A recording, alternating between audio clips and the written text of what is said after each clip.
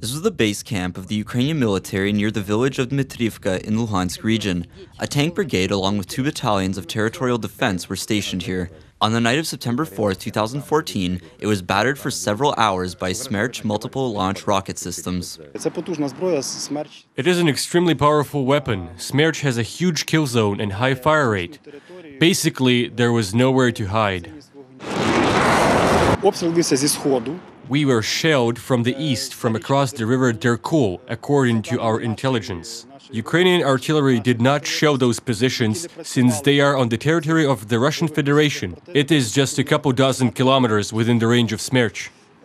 Vladimir Kukhar recalls the base was destroyed the night before the so-called truce. He was then at a position nearby.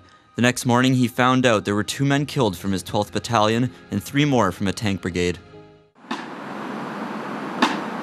Among those killed in Dmitrivka was Senior Lieutenant Alexei Oshchepkiv. Alexei chose to join the military following the footsteps of his grandfather. He went to the Suvorov Military School, which is now the Ivan Bohun Military Academy. After that, he studied in the Armored Corps Academy. He left the military because of the state of his health, but rejoined it immediately after Russia started its aggression in the Donbas.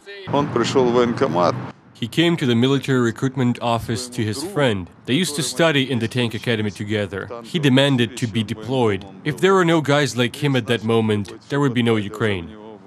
A commemorative tablet devoted to Alexei Oshchepkiv was the 10th on the wall of the Ivan Bohun Military Academy.